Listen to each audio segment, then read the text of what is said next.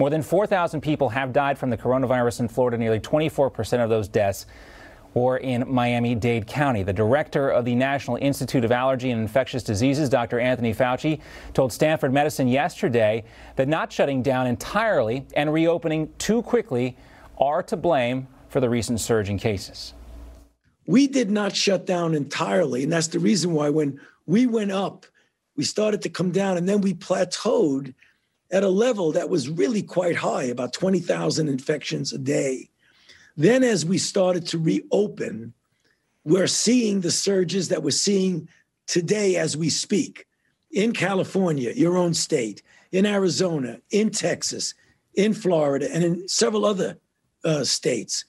So you've got to shut down, but then you've got to gradually open.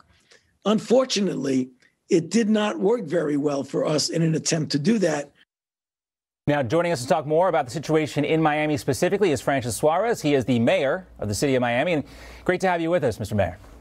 Great to be with you. All right, so you just heard Dr. Anthony Fauci talk about this, uh, but he, you know, he doesn't think about the whole entire situation here. That's business has got to remain open. We saw the shutdown before. We saw how devastating it would be. Give us your boots on the ground assessment of the situation in Miami. Does Dr. Fauci have it correct? Well, I think you know, like you said, uh, there's with this entire pandemic, there's two sides to, to the story, right? We know that for every action that we take, in terms of closing down a segment of our economy, a segment of our society. There are tens of thousands, if not hundreds of thousands, of people that are affected. On the one hand, on the other hand, uh, anytime we don't take an action, there's the possibility that people will die. Right. And so that's that is a, a very very difficult uh, balance uh, that we have to we have to take into account. Right now, we're seeing record high cases. Uh, we're also seeing our hospitalizations being strained. Uh, we're seeing our ICUs being strained, and we're trying to grow capacity in those areas. And so uh, we're at a point where there are not too many more measures that we can take if we don't uh, get uh, control of the curve of the ascension, where we may have to really consider a lockdown uh, in the next few days. And I know that's not something that you want to do, but talk to us about your mindset and you know the information you're getting that's going to lead you to that decision. It's not something that we want to do. It's something that we may have to do. Um, you know, the, the, the, decisions that what we're looking at is hospitalizations, we're looking at ICU capacity, we're looking at the capacity of our entire medical system to be able to deal with COVID in our community. So that's one of the main things that we're looking at. We're also looking at the death rate, obviously, which thankfully in Miami has remained fairly low. But we're also we've also hit a high in ventilators, which are uh, you know a predictor of, of where uh, of how many deaths we're going to have in our community because about 65% of the people that get ventilated unfortunately don't make it. Right. And so we're seeing that number eclipse the all-time high. So it's inevitable we think that uh, deaths are going to start climbing, and and so uh, if if we don't, uh, the remedial measures that we've taken don't have the kind of effects that we think that they have, mask in public, you know, shutting down indoor dining, uh, a variety of other measures that we've taken, penalizing businesses that are not following the rules, uh, you know, uh, giving fines to people who aren't wearing masks. If those don't work and people don't cooperate, then we may be forced to shut down the city again. Yeah, and that's unfortunate too. We've heard these recommendations before. People don't follow recommendations, and then you know mandates come down from the government, and nobody likes that. You know, one of the interesting things that I personally love about the city of Miami is not only a cultural melting pot, but it's also a political melting pot. Um, a lot of diversity when it comes to party affiliation. You know, I know you're a, were a registered Republican, but the, this is a non-political office, so you have to appeal to everybody, not just on political party alone. Um, and you have overwhelming support, at least when you got elected, by about 85 percent, if I'm correct, right, Mayor? Yeah, and, and, you're right. You know, for me, you know, I, am I'm a registered Republican. I, I, got elected in a nonpartisan office by 86%.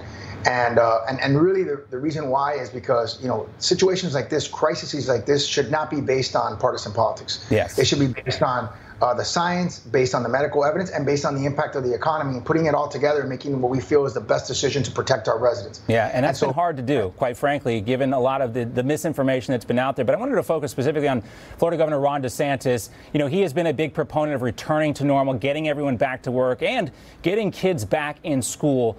What letter grade would you give Governor DeSantis so far in his handling of this pandemic? Well, look, I don't, I don't like giving letter grades because I don't want to get a letter grade uh, for, for my performance. I, I, think we're all doing the very best that we can. I can tell you the governor has been accessible to me. Um, every time I've called him, he picks up my calls.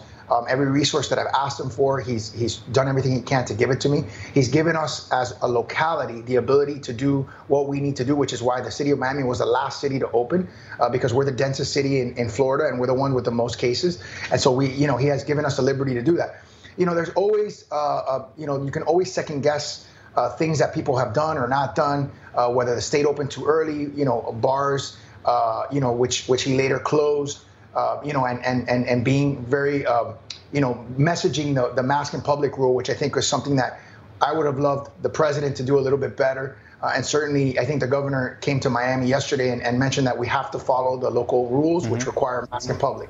Yeah, and that's an important thing too, and that's something that we've tried to emphasize throughout this crisis. Is you know you can't have the president dictating to local communities what to do from Washington D.C. on everything, and you can't have the governor of Florida dictating to you, Mr. Mayor, what you need to be doing in the city of Miami when he's all the way in Tallahassee or someplace else. He tries to get around the state as much as he can, but those are the decisions you have to make. And I think the best grade, I guess, you could give any uh, elected official in this type of position when you need him and you say he's there for you, he's accessible, and that's you know I think we'll give him an A. You know, kids aren't back in school, no kids are getting grades, but we'll give an A for that because that's the important relationship and the cooperation between the local, state, and federal levels. We haven't seen enough of that, and unfortunately, as you mentioned, politics coming into play. Let's also talk about what's ahead for Jacksonville and the Republican National Convention for August 24th. Given the way things are going in the state, and again, I know it's very uh, local, things are different in Jacksonville than they are in Miami, but if the convention were in Miami, would you say it's time to cancel it?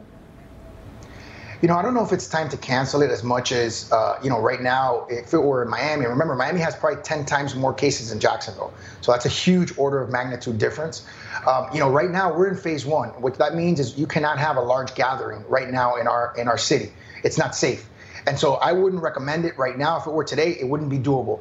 Uh, I don't know where it's going to be when the convention comes. Uh, I don't know how much progress we're going to make. So it's really hard. You know, this is something that has progressed one way or the other on a week to week basis, on a day to day basis. So it's hard to tell, but but Jacksonville is, is in a completely different place than Miami. They're, they're, they're about one tenth of the cases that we have. Yeah, that, that's important to mention the differences there. I mean, oh, even though that, that being said, a number of Republican senators, Chuck Grassley, Lamar Alexander, Lisa Murkowski, Susan Collins, Mitt Romney, with the exception of Chuck Grassley, not the most supportive of President Trump, but those are the senators saying they're not going to go to Florida. And given the fact that Florida relies so heavily on tourist dollars in Miami specifically, you, you know, how do you bring that part of the economy back?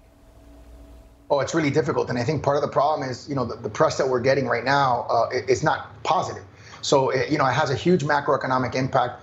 I think part of the issue that we're having, frankly, is some people don't care. They're coming here anyways, mm-hmm. and they're partying and they're trying to have a good time, and, and that's making it a little difficult for us to enforce.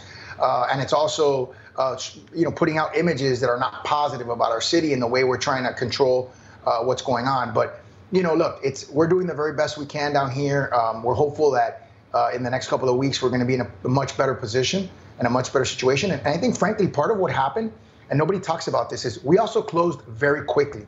And so we didn't, you, you didn't see some of the things happening in Florida that you saw in New York. You know, you didn't see people dying in the hallways of, of, of hospitals. Uh, so I think New Yorkers, for example, got a tremendous amount of fear uh, and respect for coronavirus, whereas in Miami, because we shut down so early, we didn't see some of that some of that happen. Uh, I think our residents, when we opened, were not as fearful. And so they went out there and they socialized as if the virus didn't exist. And one of the things this virus has shown is that it is incredibly efficient at spreading. Yeah.